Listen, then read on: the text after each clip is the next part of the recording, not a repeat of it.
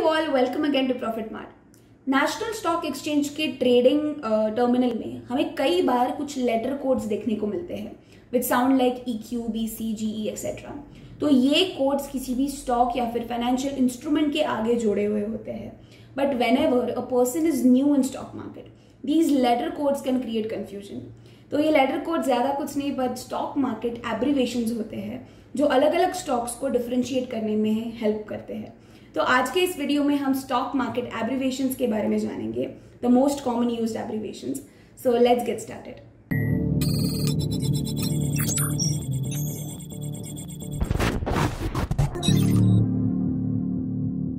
India में mainly दो exchanges है. The number one is national stock exchange and the other one is Bombay stock exchange NSC यानी कि national stock exchange में ज़्यादा trading होती है कंपेयर टू अदर्स यहाँ पर ना सिर्फ़ इक्विटीज पर बाकी फाइनेंशियल एक्सचेंजेस जैसे कि government securities debentures preference shares close ended mutual funds इन सब की भी ट्रेडिंग होती है। अब ये जो मार्केट एब्रिवेशन है basically the two letter codes ये हमें स्टॉक मार्केट के कुछ स्टॉक्स में इन्वेस्ट करना चाहिए या नहीं, इसके बारे में बताते हैं। And just for your information अगर आप एनएससी में ट्रेड करना चाहते हैं तो ये सारे मार्केट एब्रिवेशन को जानना बहुत इंपॉर्टेंट है। So let start with the very first abbreviation which is the Q EQ मतलब इक्विटीज अब कोई भी इन्वेस्टर जब किसी कंपनी में इन्वेस्ट करता है which means they pay money and in return they are allotted some shares. So these shares are called as equities. Basically equities in share market is nothing but uh, the shares which can be bought and sold by an investor. Number two is the book entry or BE.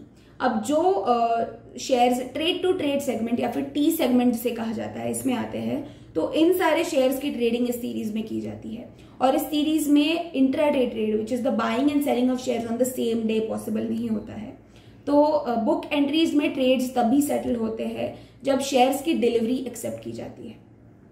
The next abbreviation is NYSC which is the New York stock exchange New York stock exchange is the world largest and the oldest stock exchanges it is situated in Lower Manhattan in New York और NYSC दो primary features provide करता है। Number one ये एक central market place provide करता है for investors to buy and sell the securities and number two यहाँ पर कंपनीज़ अपने शेयर्स लिस्ट लिस्ट कर सकती है। और उसके बाद they can raise capital from the interested investors the fifth abbreviation is BZ अब जो स्टॉक्स एक्सचेंज रूल्स वायलेट करते हैं और उनका नाम ब्लैकलिस्ट में चला जाता है, ऐसे स्टॉक्स की ट्रेडिंग बीजेड सीरीज़ में की जाती है। तो यूजुअली इनके पास ज़्यादा ऑप्शंस नहीं होते हैं ट्रेडिंग के। इनके पास buy today sell tomorrow BTST का ऑप्शन नहीं होता है इंट्रा ट्रेडिंग का ऑप्शन नहीं होता है।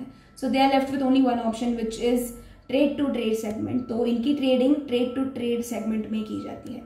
The next one in the list is NASDAQ NASDAQ is the national association of security dealers automated quotation तो ये न्यूयॉर्क स्टॉक एक्सचेंज के बाद second largest stock exchanges in the world और इसकी खास बात ऐसी की है कि it has made history by being the very first electronic stock exchanges electronic stock market और um, यहाँ पर बाइंग और सेलिंग इलेक्ट्रॉनिकली होता है, यानी कि बायर्स और sellers electronically enter their trades with their stock brokers और उसके बाद इन ट्रेड्स की जो एंट्री है वो नेस्डैक सिस्टम में होती है। इज़ बी टी अब स्टॉक मार्केट में बहुत सारे अप्स एंड डाउन होते हैं। तो जब कभी इन्वेस्टर्स के शेयर्स का मार्केट कैपिटल 500 से नीचे चला जाता है, तब उनके पास एक ऑप्शन होता है टू लीव और to exit from the investment तो ये ऑप्शन बीटी सीरीज़ प्रोवाइड करता है. So this is basically exit route for small investors और um, यहाँ पर इन्वेस्टर्स के जो शेयर्स uh, हैं वो फ़िज़िकल फॉर्म में होते हैं. The last and the final abbreviation for today is the GC GC और the general collateral is basically a basket of security issues जो कि एक रेपो मार्केट में ट्रेड किए जाते हैं. तो इसमें सिक्योरिटी इश्यूज़ के जो रेपो रेट होते हैं वो ऑलमोस्ट सेम या सिमिलर हो सकते हैं. और जीसी सीरीज़ में गवर्नमेंट सिक्योरिटीज और ट्रेजर बिल्स की ट्रेडिंग भी की जाती है।